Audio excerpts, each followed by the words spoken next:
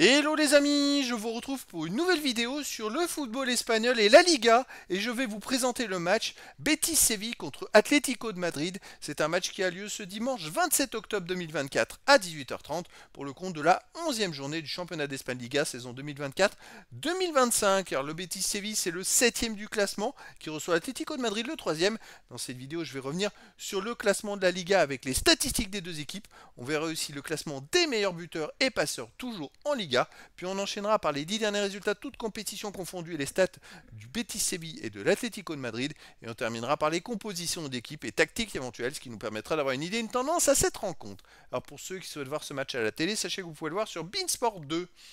Et donc, au classement, le Betis Séville est 7 avec 15 points en 10 matchs, 4 victoires, 3 nuls, 3 défaites, 10 buts marqués, 9 buts encaissés, plus 1 de différence de but. Ils sont plutôt bien partis en championnat. Par contre, ils sont quand même à 5 points de l'Atlético de Madrid qui est 3 avec 20 points en 10 matchs, 5 victoires, 5 nuls, aucune défaite. 16 buts marqués, seulement 6 buts encaissés, plus 10 de différence de but. L'Atlético de Madrid est invaincu et a également la meilleure défense de Liga pour l'instant. Au niveau des buteurs, il n'y a pas de joueurs euh, des deux équipes pour l'instant dans les 14 meilleurs marqueurs. Et également, par contre, dans les 14 euh, euh, meilleurs passeurs décisifs, on a pour l'Atlético de Madrid Antoine Griezmann qui en est à 4 passes décisives et Alexander Sorloth avec 2 passes décisives.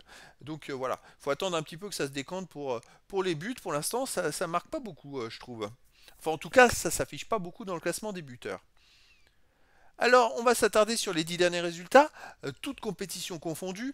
Euh, le Betis Séville, c'est 4 victoires, de nul, 4 défaites, 10 buts marqués, 10 buts encaissés, 0 euh, différence de but. Bon, c'est une équipe qui gagne et qui perd, qui enchaîne les matchs parce qu'ils jouent aussi l'UEFA League Conférence. Et donc, ils ont quand même beaucoup de matchs à jouer et ça peut jouer aussi dans la fatigue, un peu comme l'Atlético de Madrid qui joue à la Ligue des Champions.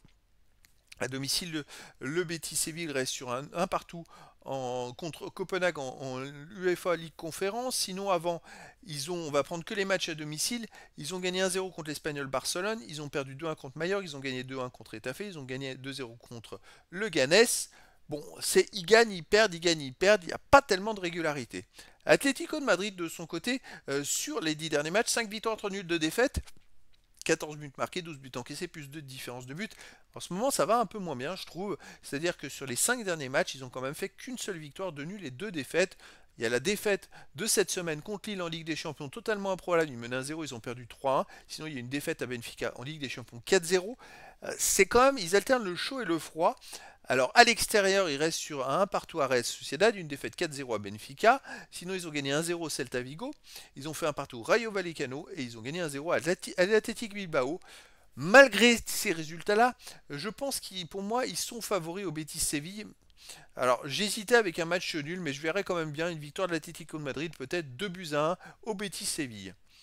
Alors pour les compos d'équipe et tactique, pour le Betis Séville, on aurait du 4-2-3-1 et gardien Rui Silva et joueurs de champ Bellerin, Baltra, Diego Lorente, Rodriguez, Altimira, Johnny, Rubal, Fornals, Avila et Bakambu.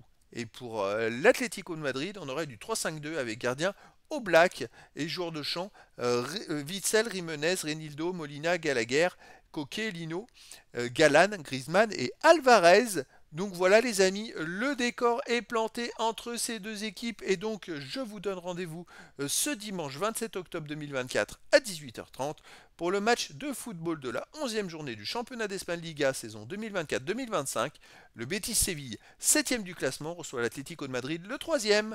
Voilà les amis, je vous dis à très bientôt pour une nouvelle vidéo.